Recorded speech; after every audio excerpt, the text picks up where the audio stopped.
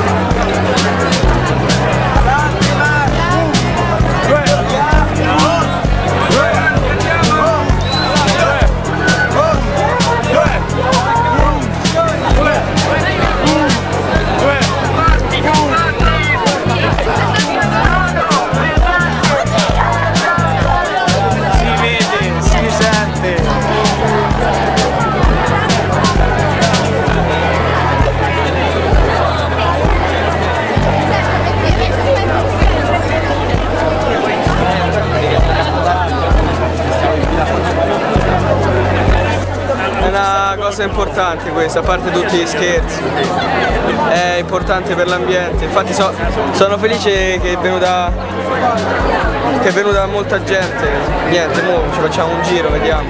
Noi siamo di Roma Sud, siamo del liceo Francesco Vivona, il classico, e siamo qui per protestare per il nostro pianeta e per il nostro futuro. Sì, esatto.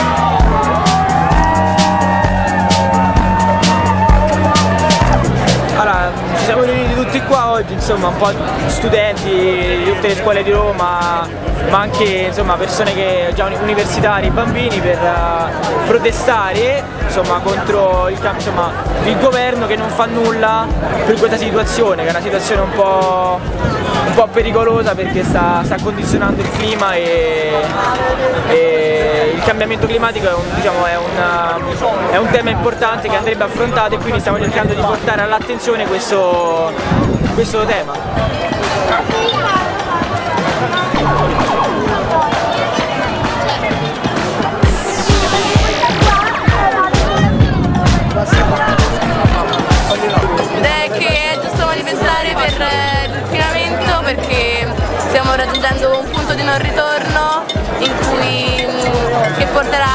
all'estinzione di molte specie animali, di piante e quindi bisogna fare qualcosa. Eh... Oggi siamo qui per combattere eh, in nome degli orsi polari, del riscaldamento globale, di tutte quelle persone che non hanno forse più una casa a causa del riscaldamento globale per, eh, per Greta.